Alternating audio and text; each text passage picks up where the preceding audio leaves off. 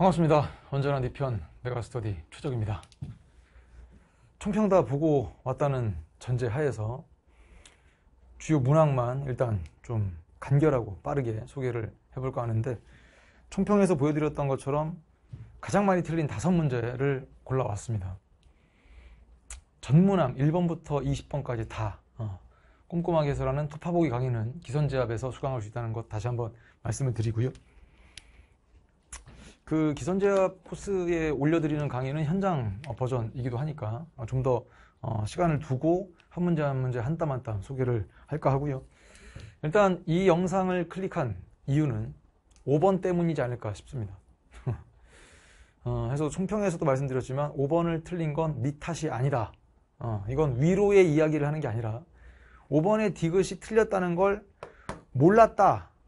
아, 괜찮습니다. 음, 이거는 그냥 하는 소리가 아니라 분명 말씀드렸죠. 이 문제를 통해서 선생님이 앞으로 또 어떻게 헌법재판소 문제에 대응해 나갈 것인가 기대도 많이 해주시고요. 또 FM도 다시 한번 손을 보고 좀 더 정갈하고 정교하게 준비를 남은 기간 동안에 또 추가적으로 해 드릴 테니까 아무런 걱정 없이 그냥 맡겨주시면 됩니다. 일단 풀어보겠습니다. 형사보상 청구권 관련 헌법재판소 결정 분석. 그러니까 요게 딱 써 있어요. 형사보상 청구권.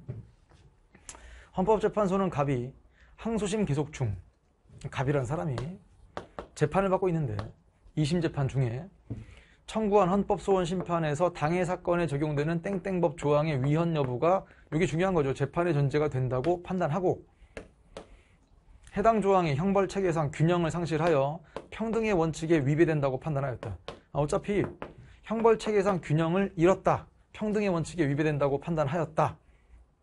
잘못됐다는 뜻이잖아요. 어쨌거나. 근데 우리가 문제를 풀 때는 헌법소원 심판이라고 적혀 있으면 이 헌법소원 심판이 무엇인가 밑에 있는 요 문장까지 읽었을 때 위헌 심사형 헌법소원이라는 건 알아요. 공부가 어느 정도 된 친구들은 이건 안단 말이에요. 한편 땡땡법 위반죄 등으로 징역 2년 6월을 선고받고 판결이 확정됩니다. 심지어는 형의 집행까지 끝났어요. 정말 쉽게 말씀드리면 2년 6개월 깜빵 갔다 온 을은 이 법 조항에 대한 위헌 결정을 이유로 재심을 청구합니다. 그러니까 선생님은 오히려 이 문제를 여러분이 어디까지 활용했으면 좋겠냐면 재심이라고 하는 말을 수업 시간에도 말씀을 드렸고 교과서에 근거가 있다. 어, 근데 재심을 직접적으로 아주 어, 크리티컬하게 낸 문제가 아직은 없거든요. 기출 문제. 그래서 이제는 여러분이 재심 청구 이 사례가 헌법재판소의 사례에서 나왔지만 형사 절차에서도 한 번은 또 고민을 해 두셔야 됩니다. 그래서 형사보상 청구권이라는 것에 표시를 한 거예요. 어차피 형사보상 청구권은 헌법상 기본권 중에 청구권에서 소개가 되는 그 헌법제 28조 그때도 말씀드렸던 거고 그 당시에도 나중에 형사 절차가 나올 때 또 한 번 아주 중요한 제도다라고 말씀드렸던 것과 같은 맥락으로 유기적으로 학습해야 되기 때문에 재심이라고 하는 것을 좀 더 두텁게 이젠 이해하셔야 됩니다. 재심 절차에서 즉 다시 재판받는 거예요. 을은 땡땡법 조항보다 법정형이 가벼운 형법 조항이 적용되어서 징역 2년을 선고받았고 아니 징역 2년도 어차피 이거 유죄죠. 음. 항소 및 상고가 기각되어 판결이 확정되었습니다. 즉 2년 6개월을 살다 나왔는데 재심을 통해서 무죄가 된 게 아니라 2년으로 감형되었습니다. 감형. 형벌이 줄었다는 뜻이죠. 이후 을은 무죄 이외에 재심 절차에서 감형된 경우를 형사보상 대상으로 규정하지 않은 형사보상법 이 조항, 네모 조항이 있어요. 이 법 조항이 있는데 이게 자신의 기본권을 침해한다면서 헌법소원 심판을 청구합니다. 재판 다 끝나고 심지어 뭐 깜빵까지 갔다 오고 재심까지 다 끝난 이후에 헌법소원 심판을 청구했다 그러면 이때 말한 헌법소원은 권리구제형임은 명확합니다. 권구헌소 청구하였다. 헌법재판소는 땡땡 조항은 무죄 재판을 받아 확정된 사건에 피고인에게 적용되는 조항이기 때문에 무죄 재판을 받지 않은 즉 유죄니까 감형된 이 사건에 대해서 을에게는 네모 조항이 아닌 형사보상법 세모 조항이 적용된다고 판단하고 심판 대상을 변경합니다. 어 그럴 수도 있겠구나. 네모가 저의 기본권을 침해합니다. 헌법재판소의 판단은 아 네모는 여기 나와 있는 것처럼 무죄 재판을 받아 확정된 사건에 적용되는 거기 때문에 당신한텐 네모 조항이 적용이 없어요. 오히려 형사보상법 세모 조항을 저희는 심판 대상으로 삼겠습니다. 즉 변경을 하죠. 그리고 헌법재판소는 재심 판결에서 선고된 형을 초과하여 집행된 구금. 처음에는 2년 6월을 선고받았죠. 집행까지 다 됐습니다. 재심에서 2년 받은 거예요. 그럼 정말 간단하게만 따져봐도 원래 살았어야 될 형벌에 얼마를 더 산 거죠? 요게 더 붙은 거죠. 음, 이렇게. 자, 그리하여 재심 판결에서 선고된 형을 초과하여 집행된 구금에 대해서 보상 요건을 규정하지 않은 세모 조항이 즉 요겁니다. 세모 조항이 의뢰 기본권을 침해한다고 판단하였다. 자, 이에 따라서 재심 판결에서 선고된 형을 초과하여 집행된 구금 6개월 정도인데 대에서도 형사보상을 청구할 수 있는 계기가 마련되었다라는 이야기. 그럼 일단 전반적으로 봤을 때 갑의 헌법소원 심판 하나 나오고요. 그 다음 을의 헌법소원 심판도 나오죠. 그 사이엔 재심이라고 하는 제도까지 들어가 있어요. 그래서 아마 이 문제 풀 때 기억 보세요. 갑이 청구한 헌법소원 심판, 위헌심사형이죠. 위헌법률 심판 대청 결정을 구하는 갑의 신청에 대한 항소법원의 기각 결정을 심판 대상으로 하였다. 자, 보세요. 우리가 6월 모의평가에서 어떤 교훈이 있었냐면 그 당시엔 7번 문제에 또 기니디형으로 적어두시기 바랍니다. 기니디형이라고. 출제가 됐는데 그 당시에 아직도 선생님 뇌리에 완전히 딱 박혀있는 그 문장 제시문의 마지막 문장에 뭐라고 쓰였냐면 위헌심사형 헌법소원은 이름이 헌법소원이지 사실상 위헌법률 심판과 같은 거다. 그게 평가원이 줬던 제시문의 마지막 문장. 그러니까 우린 그걸 통해서 아 위헌심사형 헌법소원은 비록 헌법소원이라는 형식을 띠고 있지만 사실상은 재판받고 있는 누군가가 그 재판의 전제가 된 법률의 위헌성 여부를 묻기 위해서 헌법재판소에 직접 청구하는 거니까 사실상 위헌법률 심판과 내용은 다르지 않다. 그럼 선생님이 이 문장을 왜 상기해 드리는 거냐면 위헌법률 심판이 뭐예요? 법률이 헌법에 위반되는지를 따져 묻는 거 아닙니까?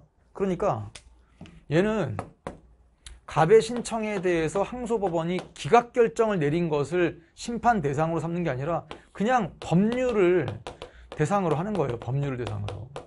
여기서는 요거죠, 요거. 땡땡법 조항. 이걸 대상으로 해서 위헌심사형 헌법소원을 청구했기 때문에 기억엔 손이 안 가요. 어느 정도 공부가 된 친구들은 기억 고르지 않습니다. 기출문제도 있는 거고요. 답 니은. 을은 공권력 작용으로 인하여 헌법상 보장된 기본권이 침해되었음을 이유로 그렇죠. 권리구제형 헌법소원 심판을 청구합니다. 이것만이 중요한 게 아니라 앞에 있는 표현도 6월 모의평가 7번의 디귿 선지에서 이미 공개가 된 선지거든요. 그래서 니은에 동그라미 치는 것도 아무런 문제가 없어. 그러면 답이 나오느냐 말이죠. 지금. 아니 기억에 X를 치고 니은에 동그라미를 치면 어, 넌 틀렸어. 너도 틀렸어. 너도 틀렸어. 그래서 어차피 디귿이 남잖아요. 즉 2번과 4번에서 고민을 할 겁니다. 틀린 사람들은 아마 4번 골라서 틀렸을 겁니다. 아니 그래요. 뭐 3번 골라서 틀린 사람도 있을 거고 뭐 5번 골라서 틀린 사람이 있을 수도 있어요. 어, 그런데 아니 진짜 3번 골라서 틀리면 나중에 충격 먹겠죠. 왜? 답이 되는 니은 빼고 쏙싹 다 고른 거예요. 니은은 쏙 빼놓고 그냥 기억 디귿 골랐을 때 그 충격이라 하면 근데 비율적으로 많지 않으니까 선생님이 강조하고 싶은 건 오직 디귿일 뿐입니다. 디귿. 자, 디귿 보시길 바랍니다. 헌법재판소는 의리 청구한 헌법소원 심판, 권리구제형 헌법소원에서 형사보상법 세모조항이 헌법상 과잉금지 원칙에 위반된다고 판단하였다. 엄청 맞아 보여. 그냥 디귿에 막 손이 가. 근데 아이 디귿 틀렸지 라고 판단했던 친구들도 잘 듣길 바랍니다. 디귿을 고른 친구도 잘 들으셔야 되고 디귿에 X를 쳐서 정말 이 문제를 맞췄다 하는 친구도 잘 들었길 바랍니다.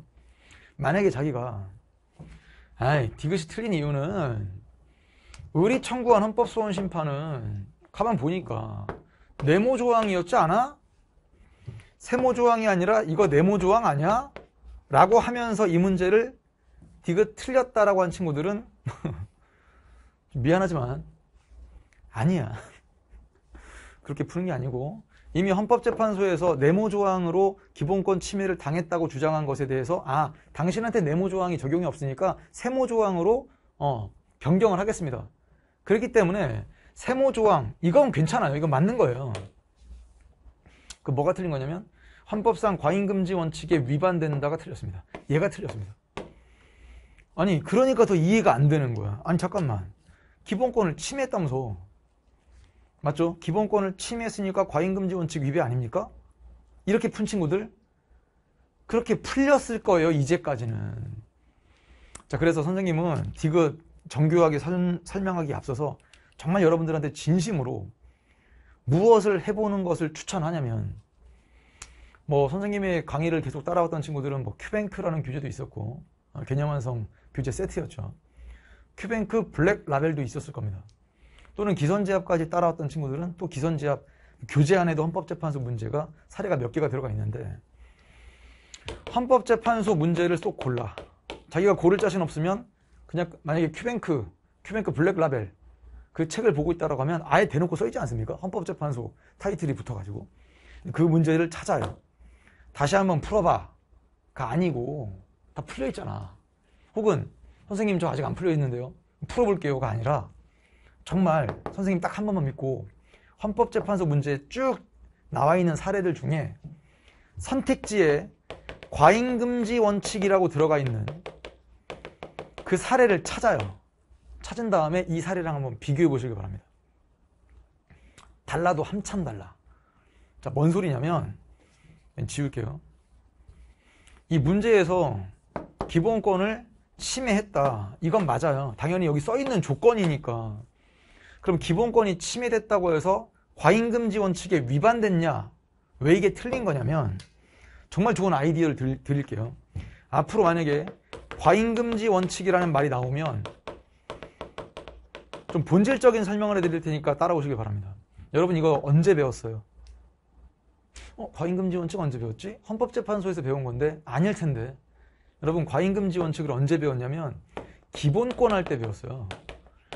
특히나 기본권의 종류와 내용을 막 설명하다가 그 다음에 가서 기본권 제한이라는 내용 설명하면서 기본권 제한은 헌법 제 37조 2항에 나와 있는 그 문장을 분석하는 건데 국민의 모든 자유와 권리는 어쩌고저쩌고 하면서 막그 쓰여 있는 문장 자 그걸 살짝만 소개해드리면 나중에 37조 2항도 한번 찾아보시길 바랍니다. 국민의 모든 자유와 권리는 사회 질서 유지, 뭐 공공복리, 국가의 안전보장을 위하여 필요한 경우에 하나여 법률로서 제한할 수 있다. 하지만 본질적인 내용은 침해할 수 없다. 그 문장이거든요. 근데 선생님이 갑자기 왜 아, 뭐야 갑자기 생뚱맞게 기본권 제한 얘기를 왜 하시지? 자 과잉금지 원칙을 왜 여기서 배웠다는 걸 말씀드리자면 좀 색다른 접근을 해볼게요. 엄청 허탈할걸요? 나중에 그리고 선명해질 겁니다.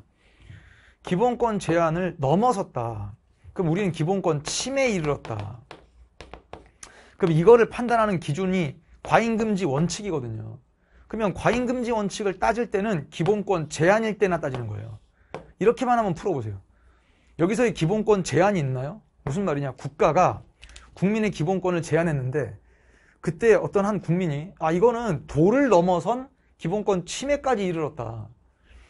어떻게 판단하는데요? 자, 1번 기본권 제한의 목적을 들여다보자. 왜 기본권을 제한하려 하는가? 공공복리? 사회질서 유지? 안전보장과 관련된 건가? 다음 두 번째. 그래, 목적이 정당하다 하더라도 수단이 적합한 것인가? 세 번째, 수단이 적합하다 하더라도 피해가 최소에 그치는 게 맞는가?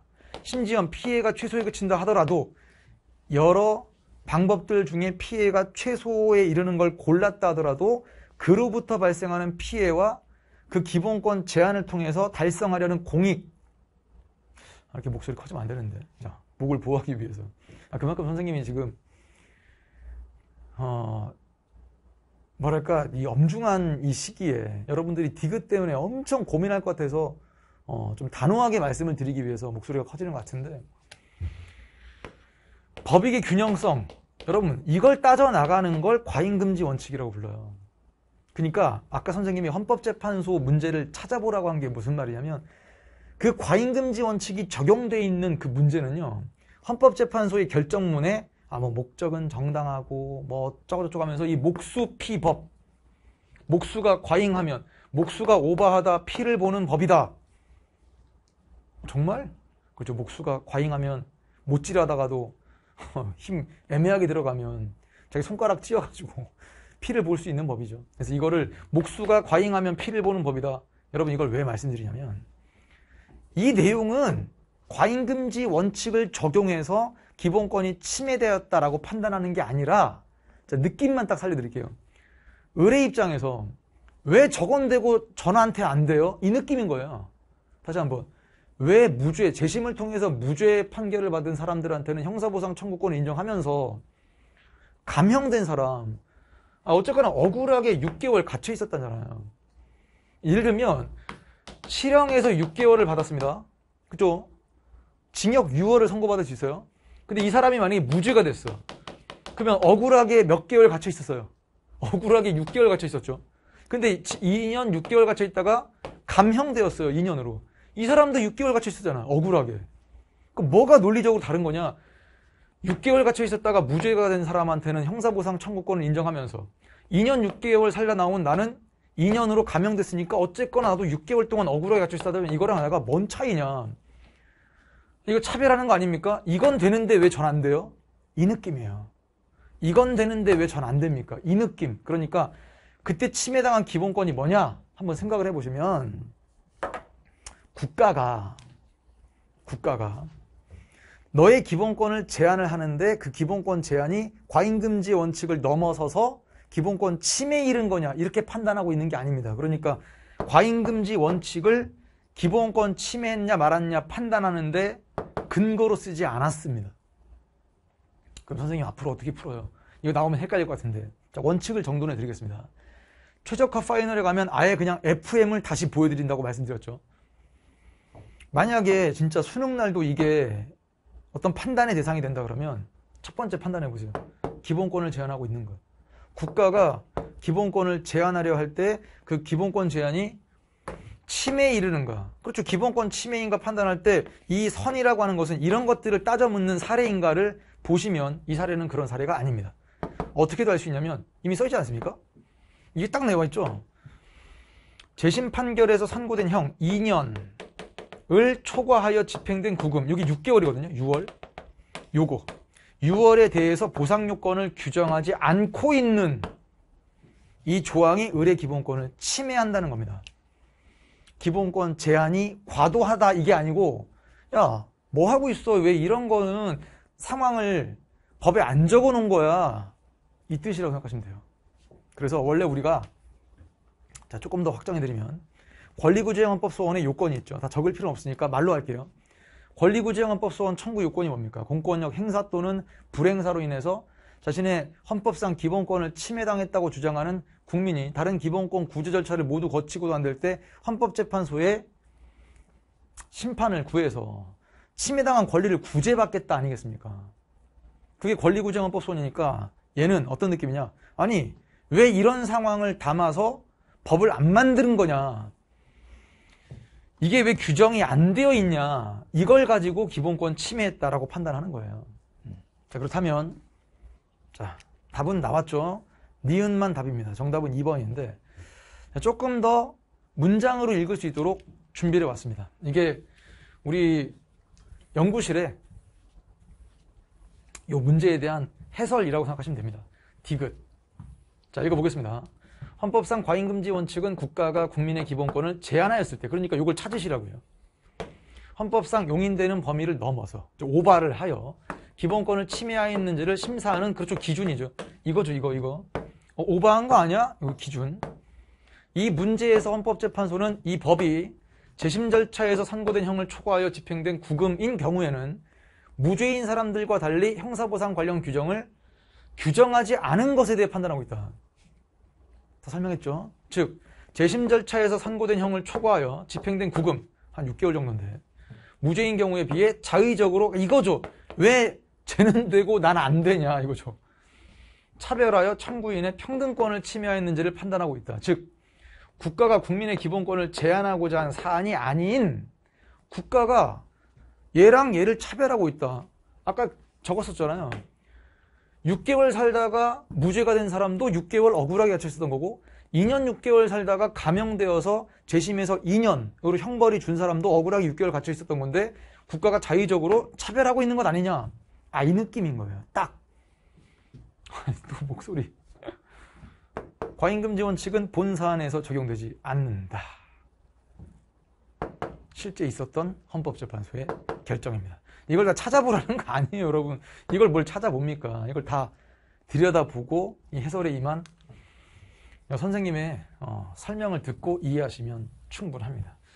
여기에 대해서 뭐 다른 주장이 있을 수도 있고요. 뭐 선생님의 설명을 또 뭐 누군가가 또 어, 어, 비판할 수도 있겠지만 어쨌거나 선생님의 설명은 여기까지 해서 자 이제 좀 더 기대감이 커지죠. 이제 헌법재판소 문제를 어떻게 독해해 나갈 것인가. 일단 지금은 요 내용을 다 담아서 하는 영상은 아니기 때문에 여러분들한테 뭐 예고 정도 해드리는 건데 아, 좋은 영감을 받았습니다. 선생님도. 그래서 어, 깔끔하게 정돈을 다시 해드리겠습니다. 아, 지금도 선생님 설명 깔끔하다고 생각이 드는데 어, 이거 말고 이야 난 저렇게 이제 문제를 풀겠어. 어떤 문제든지 풀 수 있도록 하겠어. 라고 하는 것을 보여드리겠을 테니까 기대 많이 해주시고요.